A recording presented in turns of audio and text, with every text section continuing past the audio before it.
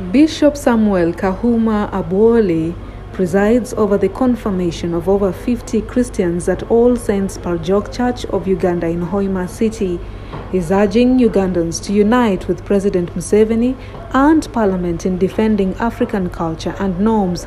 Kahuma emphasizes that the battle against immorality is a matter of life and death, and he is encouraging Ugandans to display unwavering faith, just like the Uganda martyrs who were martyred due to their steadfast beliefs.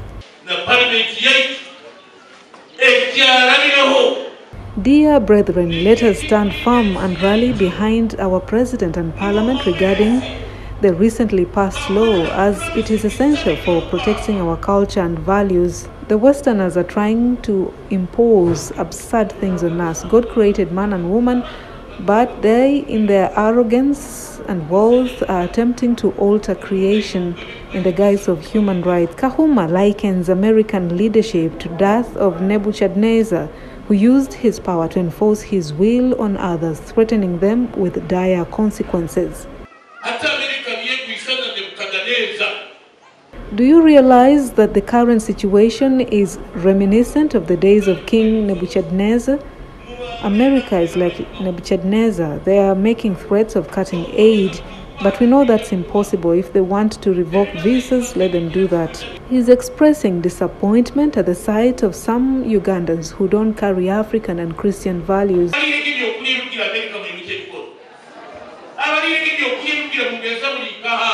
Who among us has had breakfast courtesy of America? Are we not surviving? But it surprises me that some greedy individuals are rushing to court to show Westerners their support for their beliefs, all in pursuit of dollars in their accounts. But should we sell our faith? No. Kahuma is calling on Ugandans to follow in the footsteps of the Uganda martyrs and remain steadfast in their faith, choosing what is best for future generations.